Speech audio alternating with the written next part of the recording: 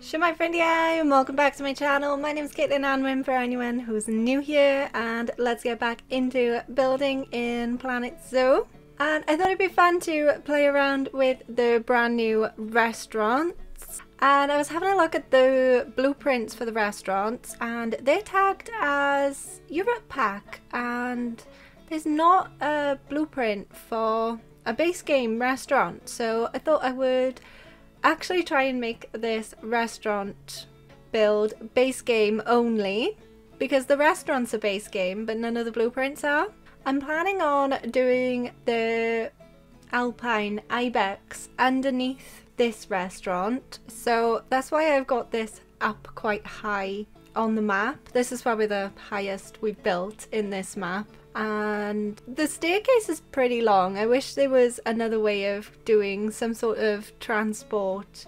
Maybe I'll get like a zoo entrance up here or something because it is quite far away from the entrances and the stairs are pretty long to get up to here but I think that's what makes this a bit more interesting as well because this is going to be a mountaintop restaurant and I also wanted to try out doing a different kind of style of building too.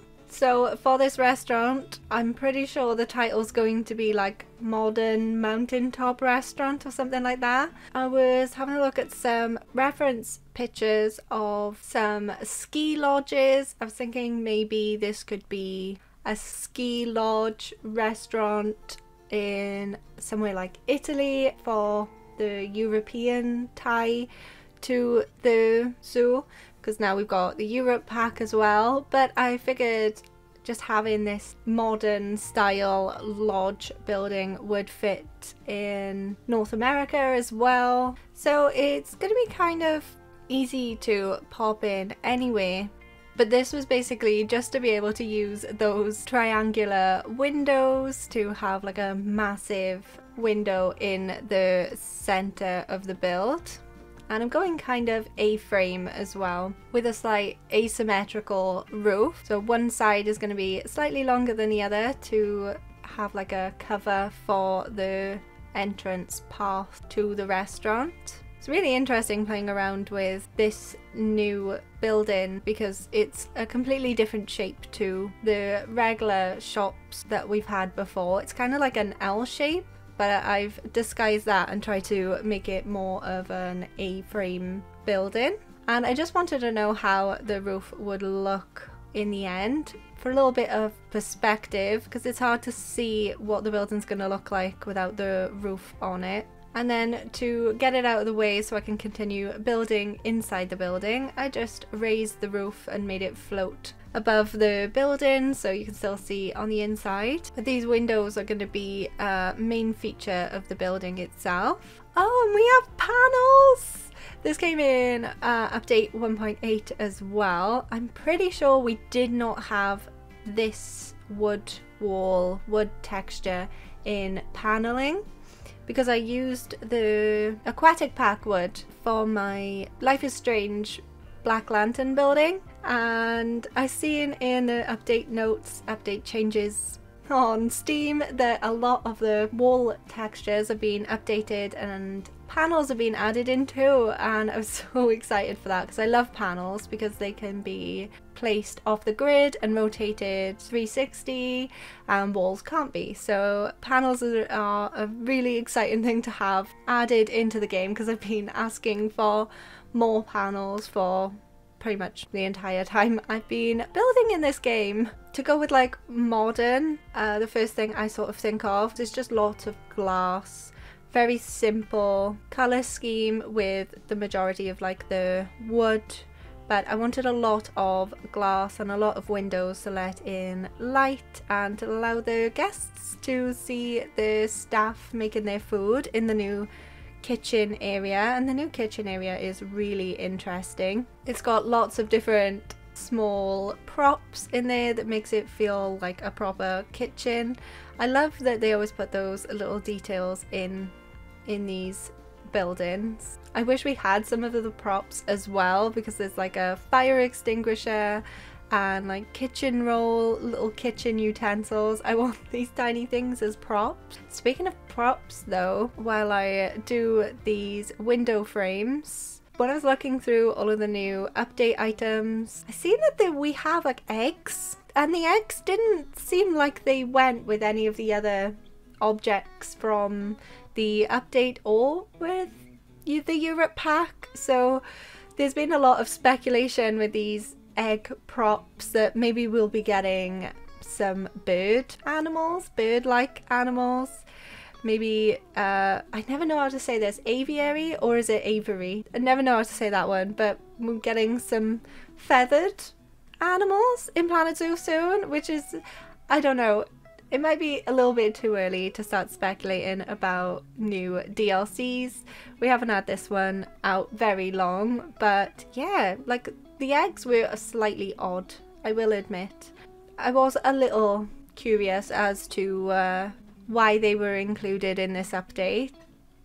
So is this uh, technically a mezzanine area? I never really know like the proper terms. I just wanted a second story balcony area where the guests can sit and eat at the restaurant and I wanted the view of the mountains and for the windows to look like it can go all the way through the building so I've used the glass panels for fencing for that top part just so we can see more of the view. I'm pretty happy with these windows because it does let in a lot of sunlight and it's really really pretty. The morning light on this building is just the best. You'll see that right at the end when I do the pretties. And I wanted to create some doors so we didn't just have a hole in the front of the building. For some reason this small door didn't fit into the door frame wall. I don't know. It didn't fit properly and I was a little confused because I was just like why wouldn't it fit? That's like the door one but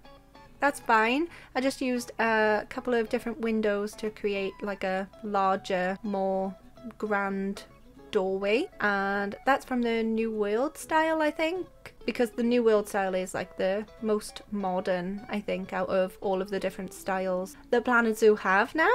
And I found the building after putting the tables down and the top layer it was a little bit too short. So I thought I would raise the building up maybe one tile. I think that's technically like a one meter tile for that balcony mezzanine area.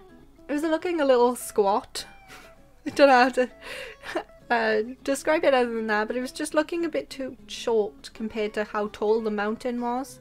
I think it works really, really well. You can see the mountain behind it. And of course, this doesn't necessarily have to be where I've put it. You could place it so you could see all the way through the whole of the windows. And that would be really nice. So you could like see through it down into another habitat. And I wanted something to look a bit more interesting for the guests sitting in that balcony area as well. So they could look down into the kitchen and have a more interesting space above the kitchen itself. I seen Pretty Parcel Please. I've been watching her Thriftmas, kind of like Vlogmas, and she's gone to so many really pretty restaurants. And one of the restaurants had these hanging baskets over like a pergola. I never know how to actually say this, like there it is, it's just wooden slats going across, but there was all these hanging baskets, it was like an outdoor space. Whereas this isn't, but it's quite open, so I thought it would work. And the hanging baskets over like the tables was just so pretty. I didn't want to do that here, but I wanted to put it over the kitchen instead, because this is such an open space. And I wasn't happy with the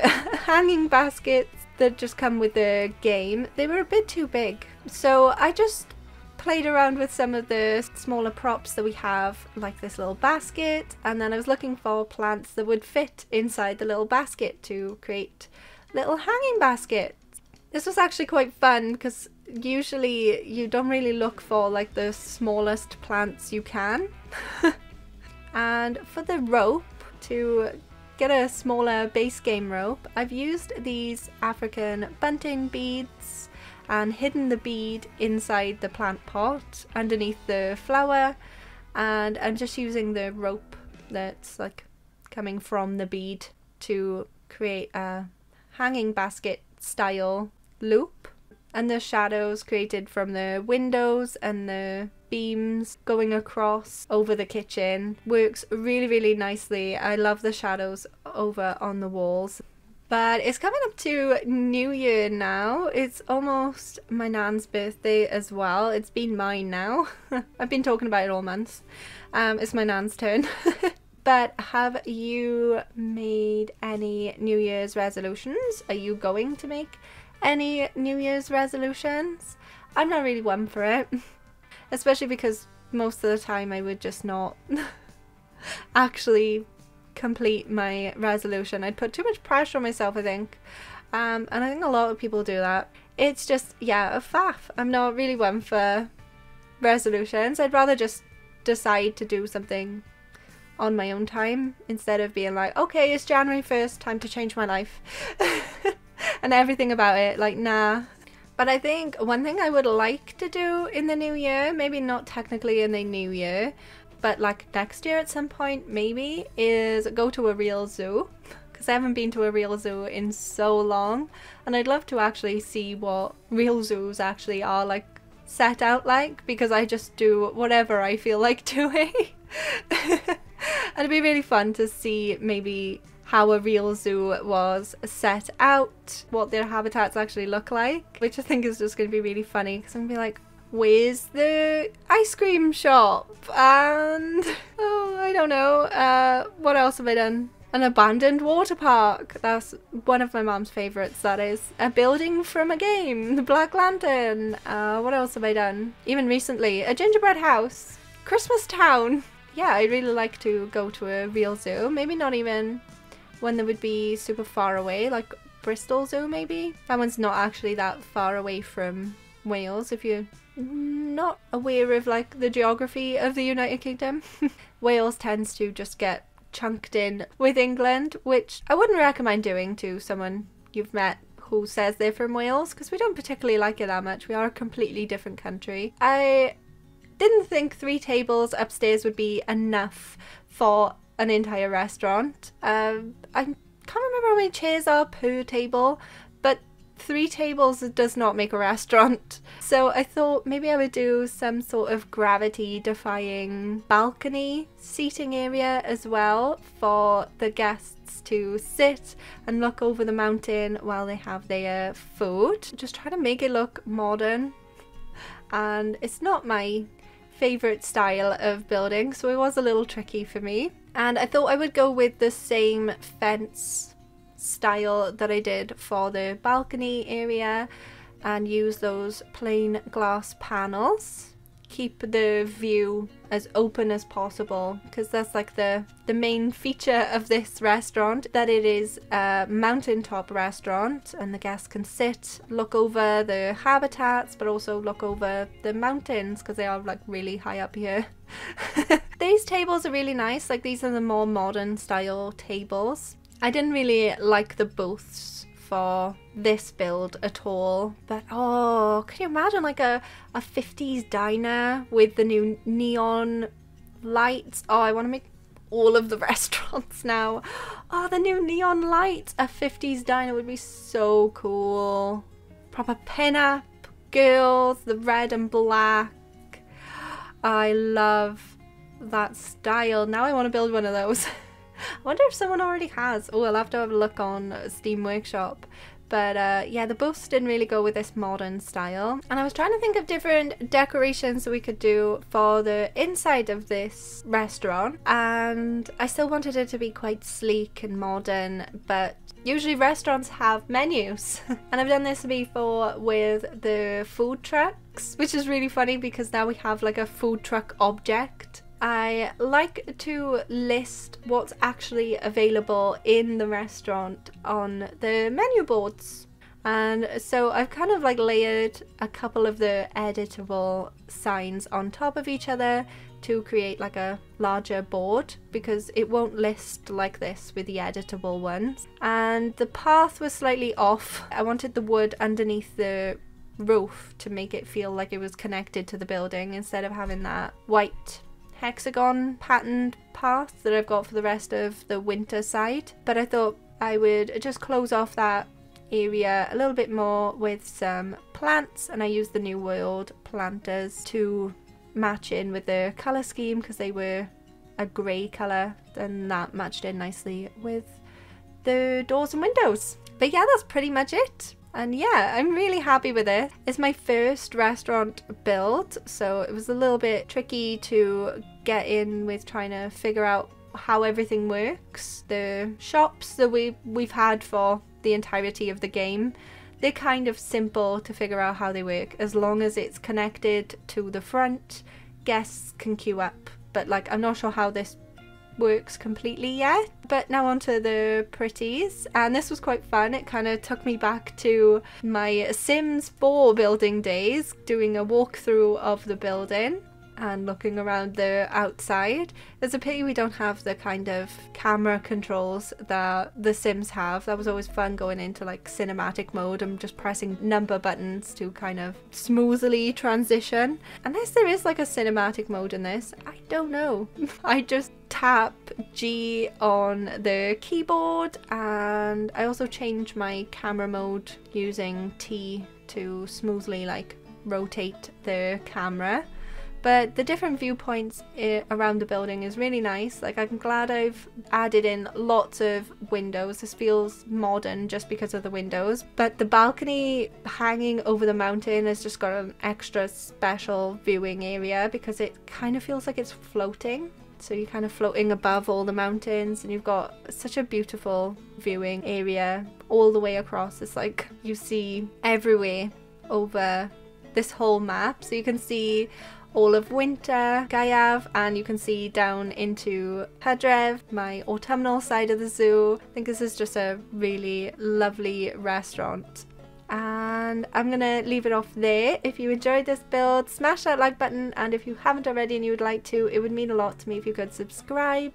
and hit the bell to be notified whenever I upload a new video. I usually upload on Wednesdays and Saturdays, but there won't be a video on Saturday because it's New Year's Day. But other than that, usually Wednesdays and Saturdays. Thank you so much for watching. I hope you have a wonderful day and a very happy new year, and I will see you next time. Goodbye!